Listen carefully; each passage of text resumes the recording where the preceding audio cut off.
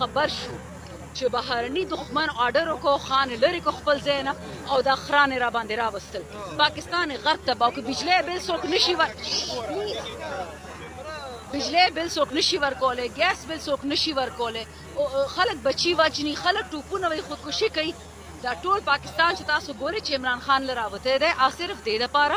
چې بل پیپل پټم والا مرکې نون والا مرکې ان پی والا بجلی بل ورکې دوی ورکول شي دای ورکول شي چاپلار نشي ورکول دوه باته ولګو او یو پکې او شل زره بل رالو نو خلکو خو تنخواه 25000 د خوري بس اولاد لا بس ورکې دا چې کم دي دا چې ته ټول ګوره کراود کنه دا عمران خان د دې یو علامت ده چې پاکستان نور نشي صبر کوله بس ته ډیر او شو وینم خطویا شو د امریکای جنگ کې پردي جنگونو کې غرق تباشو बस उस पुल वतन ला कुर्बानी उस पुल पाकिस्तान बच्चे मैं पख्तून कल्चर से हूँ और हम सौ साल भी दुश्मन का सबर करते हैं लेकिन बदला ज़रूर लेते हैं खान उस कल्चर से नहीं है खान साबिर शाकिर है हमें तो गुस्सा खान पिता तब आता था जब हम अपनी गवर्नमेंट के हर किसी को माफ़ कर देते थे दूध का दुलार बंदा होता था खान बदला लेने वाला नहीं है हम सब पागल हैं खान नहीं है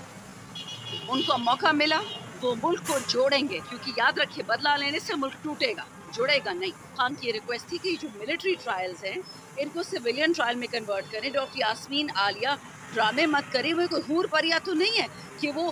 एक वक्त में पाकिस्तान में छः जगह में पहुंच गई है कैसे पहुंची है कोई मशीन है उनके पास टाइम ट्रैवल की हम तो बहुत फ्लेक्सिबल थे उल्टा हमें कहते हैं माफ़ी मांगो ये एक दिन एक दिन हमें हुकूमत दें मैंने अगर सबूत ना दिखाया कि नौ मई किसने ऑर्केस्ट्रेट कराया किसका ऑर्डर था हमारे पास तो वीडियोज पड़ी हुई हैं एक एक चीज़ सबूत पड़ा हुआ है कि 9 मई इमरान खान ने नहीं किया इमरान खान के वर्कर्स ने नहीं किया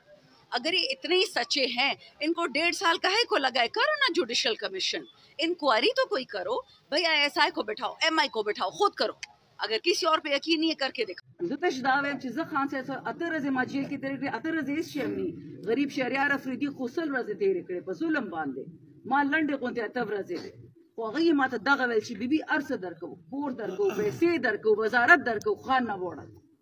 ما چې ماغه پښتو والا غیرت پښتانه والا یو غلطه خبره کوم خپه نشي چې خان غیرت پښتو والا ما زه خر یم زه جیل ته لاړم خو خان صاحب نه پرېږدو هغه زمونږ زوی دی زمونږ رور دی غلطیان هغه به هم کوي دا نه ده چې پیغمبر دی خو نیک نیته دی خلکو له خپې نه وي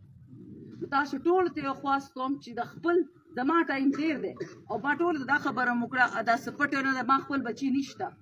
دا ستاسو بچی کرنګ شي زه به رنګ شم دا ملک به رنګ شي ان شاء الله